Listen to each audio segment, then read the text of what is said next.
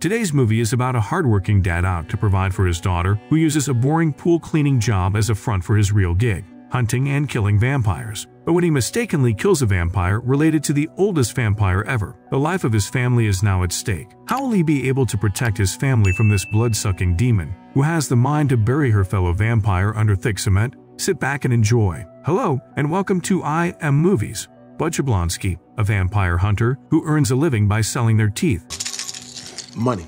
works at an incredibly filthy pool. Armed with his trusty guns, but is no ordinary pool cleaner. Immediately he is sure no one is around. He enters a house, sets up wire barriers, and hunts down bloodthirsty vampires in the pitch-black darkness. From a room emerges an old lady, her eyes filled with curiosity. What are you doing in my room? Without hesitation, Bud takes aim and fires. The lady crumples to the floor, seemingly lifeless. However, in a spine-chilling twist, her body contorts, and she rises as a vampire, her wounds miraculously healing before Bud's very eyes. She lunges at him, rendering his powerful firearm useless. The bullets bounce off her, as if they were mere confections. Desperate, Bud strikes her with a dagger, only to be met with a vile spray of vampire fluid. Bud refuses to yield. He relentlessly fires his gun, but she knocks him down. In the heat of the struggle, a glass shard slices Bud's hand, drawing forth his crimson life force. In a moment of pain and determination, he removes the fragment and continues. You see, vampires possess various powers, each linked to their age. This particular vampire, the old lady, has a body as supple and flexible as a contortionist. Evading Bud's attacks with uncanny grace, she is a formidable foe.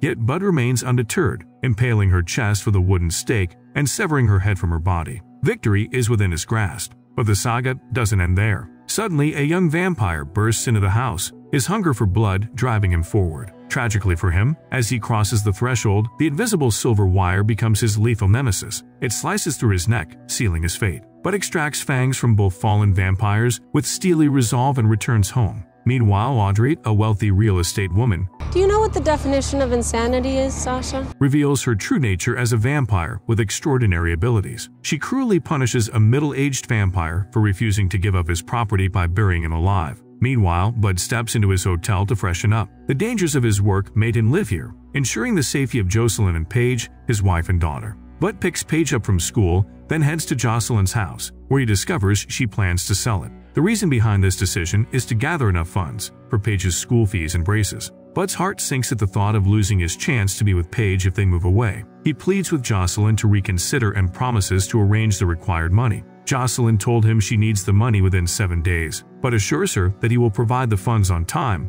Till Monday. Just give me till Monday. Pleading for her to let Paige stay. Determined to keep them together, Bud embarks on a mission to sell the vampire fangs. At a shop, Bud is offered a meager sum of $800 by the shopkeeper Troy. Outraged, Bud demands a fair deal and Troy suggests selling the fangs to the Union, a group of vampire hunters known for higher prices. Bud used to be a member of the Union but was expelled for breaking their rules. Nonetheless, he decides to sell only the young vampire's teeth to them. Meanwhile, Audrey discovers the dead old lady vampire and instructs her assistant to find the killer, but seeks the help of his union friend Big J to rejoin the organization. However, the director presents Bud's past rule violations and initially refuses to rehire him. but convinces the director that he will follow the rules and is allowed to rejoin, but with Seth as his partner to keep an eye on him during the day shift. Reluctantly, Bud approaches Seth to sell the fangs. Seth offers $10,000 but deducts $8,000 for Bud's debts. Bud accepts the money, sensing Seth's dislike towards him. The director informs Seth that Bud will be expelled if he commits any crimes. Bud prepares his gun and weapons to start his day shift. It turns out Seth knows more about vampires than Bud does. He reveals a 700-year-old vampire associated with the European drug mafia. Despite Seth's knowledge, he has never been on a field mission or killed a vampire. Seth wants to follow Bud in but Bud insists that Seth stay in the car for his safety, ignoring the rules. What you gonna do is you're gonna stay in this car. With that in mind, here. Meanwhile, Audrey visits Troy's shop, where she sees the young vampire's teeth. She demands to know who provided them. Troy claims ignorance, prompting Audrey to drive a stake into his hand. Troy finally reveals that Bud is responsible, but he did that too late. Meanwhile, Bud battles three teenage vampires who viciously attack him at the bowling alley. He easily beats two, but one gives him some difficulty. Seth receives a call from his boss, who inquires about the situation. Seth claims to be waiting in the car, but his boss asks him to enter and observe Bud's activities if he wants a promotion. Seth enters the scene and witnesses the vampire overpowering Bud. Desperate to help, Bud implores Seth to grab the nearby gun. Seth was scared as hell but managed to pass the gun, but manages to kill the vampire and extract its tooth.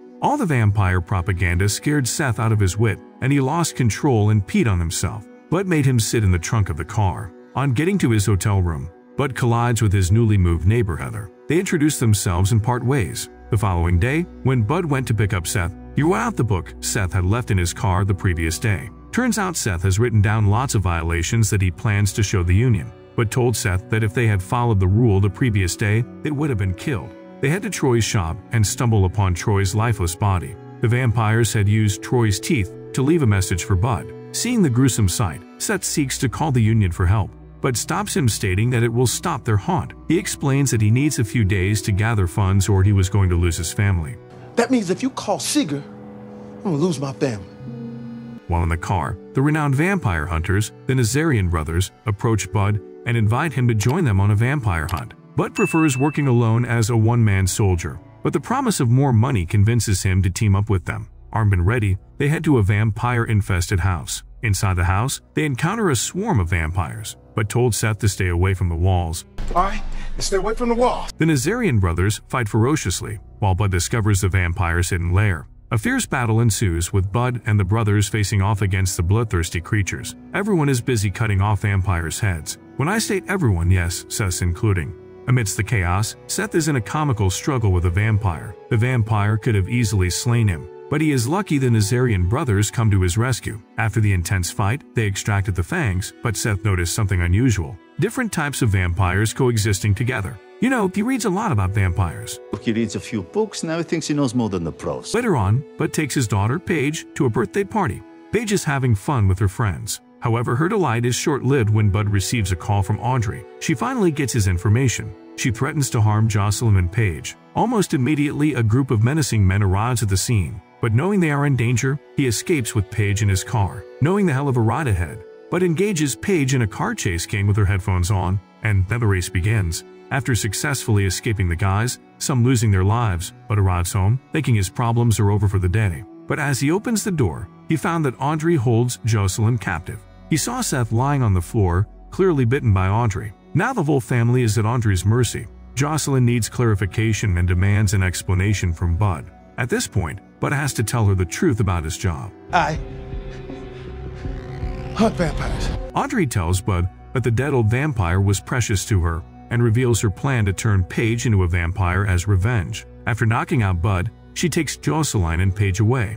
An hour later, Bud regains consciousness, his senses returning. To his horror, he witnesses Seth transform into a vampire. Fangs protrude from Seth's mouth, his reflection vanishing into thin air as if consumed by the shadows. Struggling to control his newfound instincts, Seth lunges toward Bud, driven by an insatiable thirst for blood. Filled with fear, Bud believes there is no choice but to sever Seth's head from his body. Regret washes over Bud like a torrent, mourning his hasty decision. In the act of remorse, he humbly apologizes to Seth's lifeless form, as if seeking forgiveness from a fallen soul. However, the unthinkable unfolds before Bud's bewildered eyes. Seth's head defies nature's laws by speaking, shocking Bud to his core. Let me tell you this, he gained powers because Audrey turned Seth into a vampire. Seth gently places his head back on his head, allowing his head to control his hand. So Bud and Seth drive in his car as he meets Heather. He knew that Heather is the one who has given out his details. Heather explains that she has no choice. She is also a vampire and Audrey is her maker. She goes on to tell Bud about Audrey,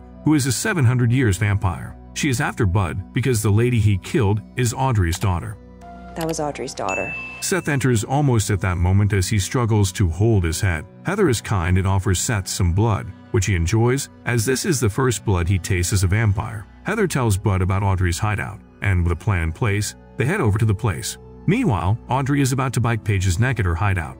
Still, Jocelyn defends her, making Audrey shift her attack on her. But her assistant alerts her of Bud's presence as he smells him. He orders a pack of vampires to guard the place, but Bud comes prepared. Unleashing a hail of bullets, Bud valiantly fights back, each shot piercing through the darkness. Although Seth faces his own onslaught, his vampire powers shield him from harm, rendering vampire attacks futile. Heather and Seth fought side by side, defending Bud from vampire attacks. Amidst the chaos, Big J, armed with a machine gun, arrives at the scene. Seth messaged him earlier. Big G works the night shift, so the team splits up. Big G and Bud will go upstairs to Audrey's room while Seth and Heather fight the vampires. But as Bud and Big G moved in, vampires came out from different angles and attacked them. They fought back, with one vampire biting Big G in the neck. Seeing that the vampire was increasing in numbers, John selflessly urges Bud to press on, sealing himself within the cave as he shuts the gate close. With a final act of bravery, Big J detonates an explosive device strapped to his body. With a booming sound, Bud knew Big J was dead. As Bud enters the cave, Audrey's assistant attacks him further, but Seth and Heather save the day. This gives Bud a chance, and he sneaks into Audrey's room, where she holds his two precious jewels captive and Audrey's assistant met a terrible death as Heather and Seth ripped his two arms apart. And that is the end of this assistant vampire. Now, back to the main deal. Bud shot a bullet at Audrey, and she morphs into her vampire form in a dazzling display of superhuman speed, attacking Bud. Each blow lands with hurricane force, but finds himself locked in a desperate struggle for survival. Audrey's powers overwhelming him with every passing moment. Just as all hope seems lost, Jocelyn intervenes, thrusting a weapon into Audrey's back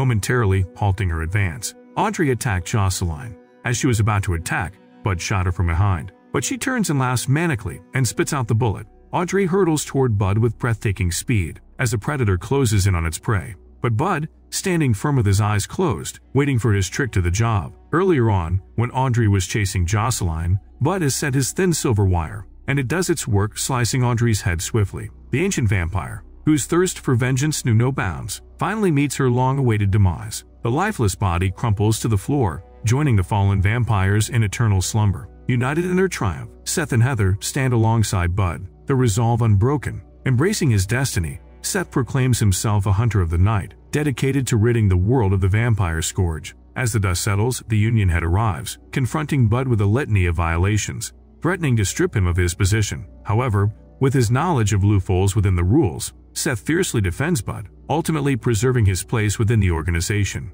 Bud, humbled by the sacrifices made and the truth revealed, embraces Jocelyn, offering her a life together, bound by love and transparency. Their lips meet in a passionate kiss, sealing their commitment to one another. Witnessing this heartfelt moment, Paige radiates joy and states she also wants to be a vampire hunter, to which her parents say no. As they depart, a figure emerges from the cavern's depths. That's Big J, his soul still aflame. Lighting a cigarette, he breathes in deeply, savoring the bittersweet victory. I love this place, he mutters. That's what I love about LA. The echoes of their harrowing journey resonating in his words, signifying both an end and a beginning. And this is where the movie ends. I hope you enjoyed this recap. See you in the next one. And that's the end of this recap. Don't forget to give us a thumbs up and hit that subscribe button for more. Thanks for watching, and see you at the next one.